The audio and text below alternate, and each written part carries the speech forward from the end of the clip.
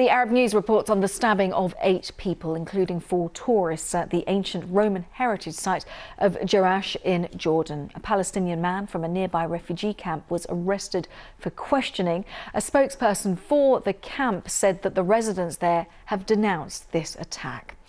Let's quickly round up some more of the main news for you. Police in Jordan are saying several people have been stabbed in the northern city of Jerash, a tourist site famed for its Roman ruins. Officials say four tourists from Mexico, one from Switzerland, are among the wounded. Four Jordanians were also attacked, including a police officer.